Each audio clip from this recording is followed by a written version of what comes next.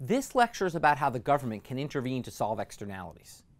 It can put limits on transactions using regulation, or it can put a tax or subsidy on a good to make sure that the social marginal cost or benefit equals the private marginal cost or benefit.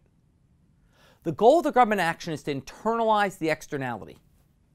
That phrase means that we want private actors to take into account any costs or benefits that they're imposing on others. Externalities are a common enough thing that you hear about them in pop culture, including in The Simpsons. In one episode from season two, Bart is fishing in a river downstream from the Springfield nuclear power plant. He catches a fish, but there's something wrong. The fish has three eyes. As a result, the Springfield power plant gets inspected and the government threatens to shut it down. What kind of government intervention is this? It's regulation.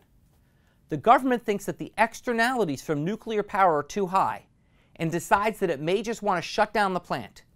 This is like setting an optimal quantity of nuclear power of zero. But Mr. Burns, the owner of the power plant, fights back. He runs for governor in order to keep his power plant open.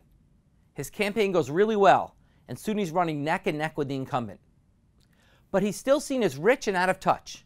So his campaign decides to have Mr. Burns eat a dinner at the home of an employee, and they choose The Simpsons.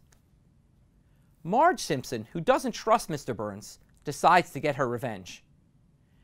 She prepares fish for dinner, but chooses one particular fish, the three eyed fish from the beginning of the episode.